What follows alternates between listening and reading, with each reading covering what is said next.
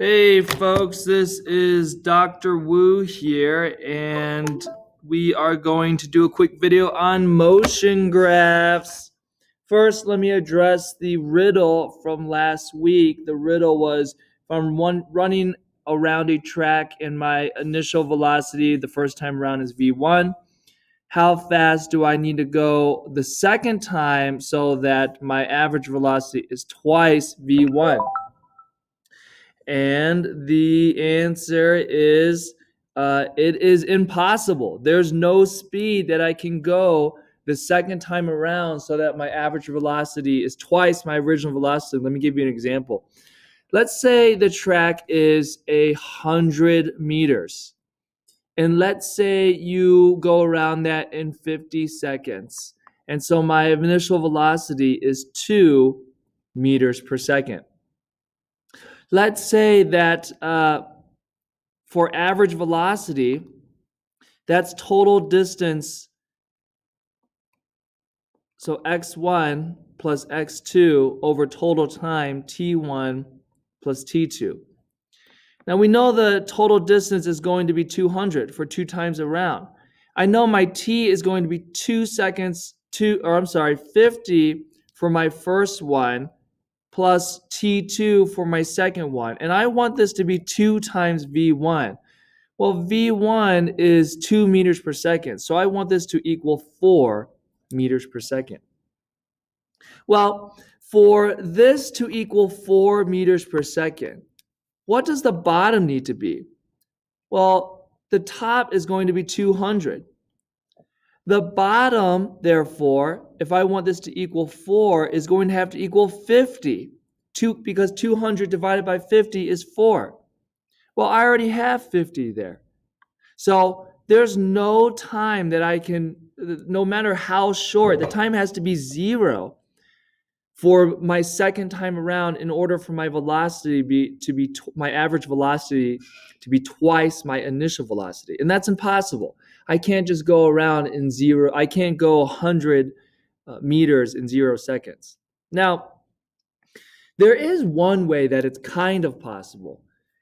I suppose that if you went around the first time, or if you just stood in one spot and counted that as one go around and your v, your initial velocity was zero, then uh, all you have to do is stay put the second time around, and then your average velocity is still going to be zero. So that's still twice your initial velocity because zero times two equals, zero.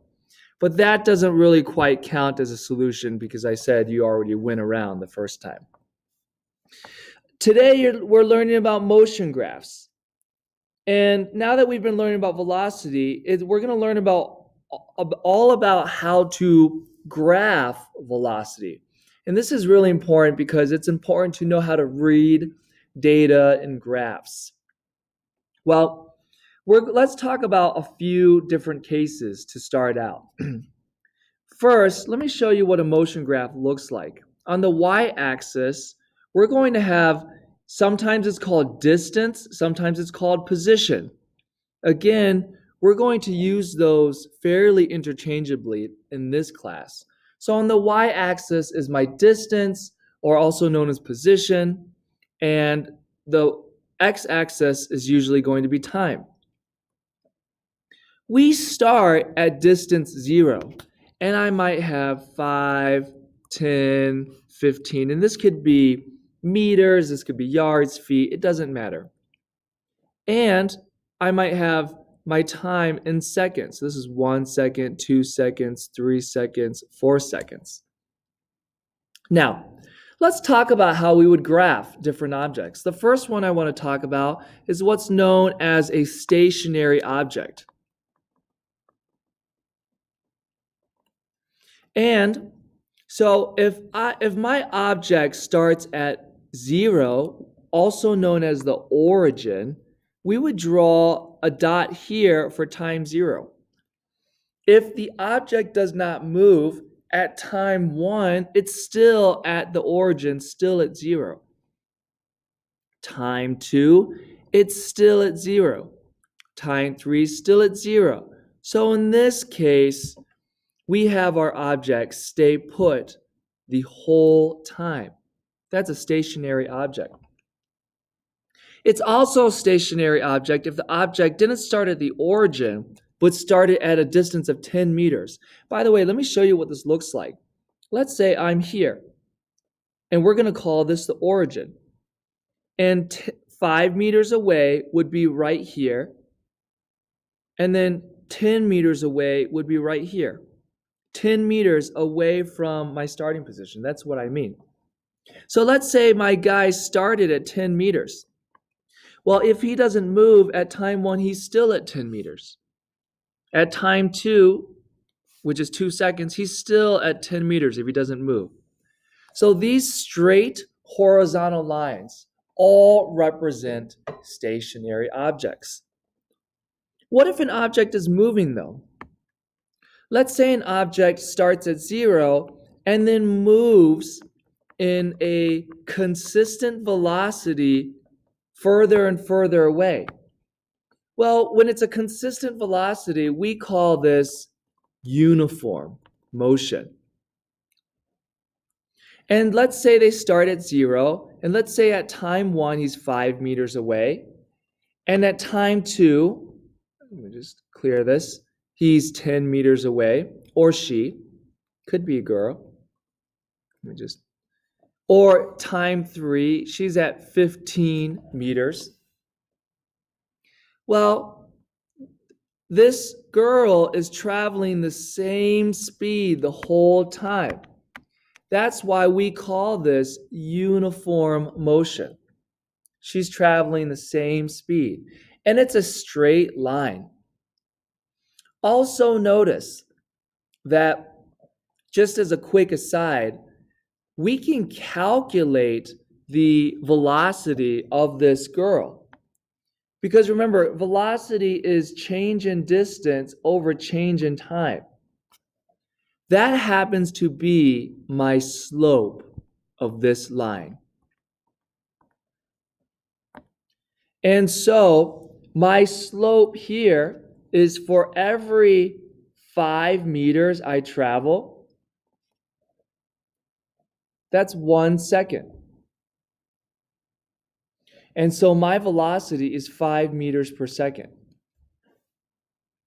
We're not going to do too much, too many calculations like this of calculating slope and velocity.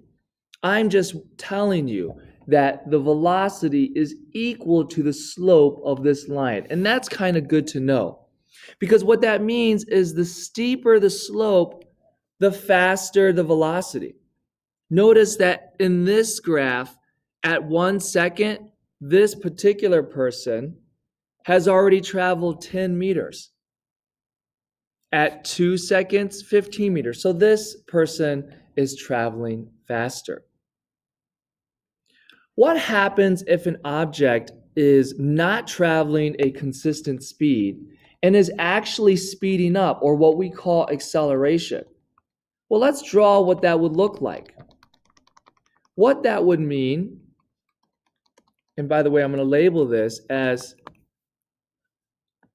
accelerating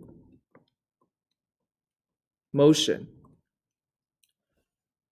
Well, let's say the first second she's going five meters per second, so she goes five meters. But then over the next second, she speeds up. And all of a sudden, she's going 10 meters per second. So from time one to two, she goes from five to 15 meters. She's speeding up. Let's say she's continuing to speed up even further. And so her line starts to become steeper and steeper. We see that the slope of the line is increasing. Over here, it's very steep. Over here, it's not so steep. So this object is going faster and faster and is accelerating. Let's practice now by looking at a couple of different graphs and trying to interpret them because that's mainly what we want to be able to do is interpret. How would you describe this motion below?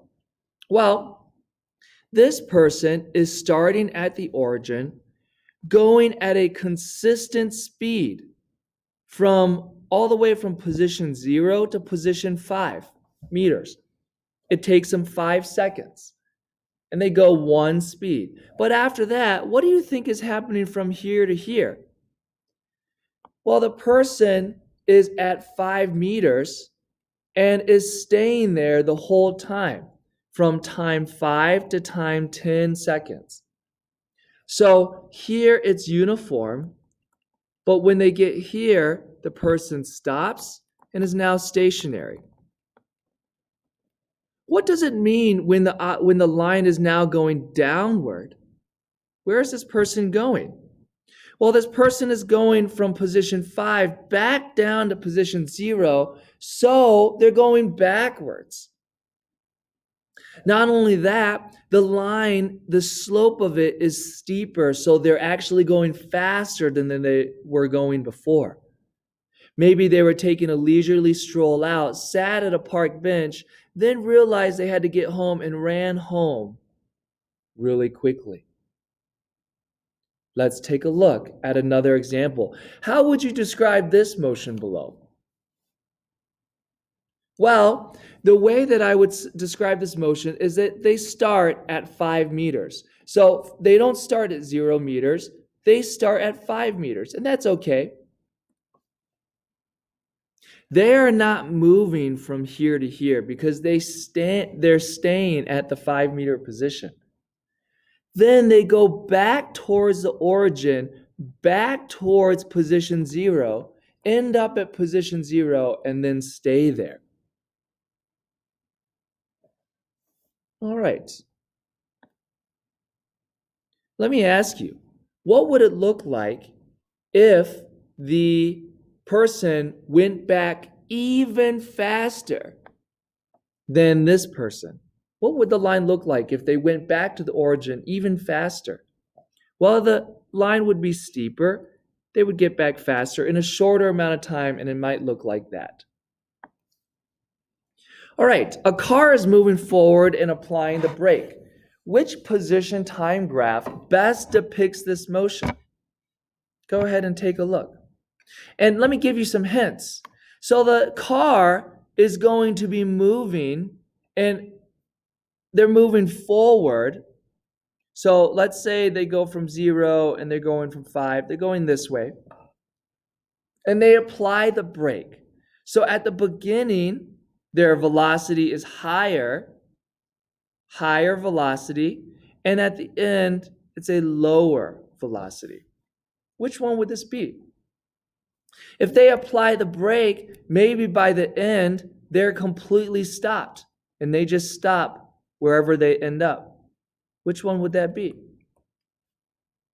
Well, that would be D. Here, my slope is higher. Then my slope starts to gradually uh, become more shallow. And then eventually the line becomes flat, meaning they're a stationary object at this point. They're staying at this position.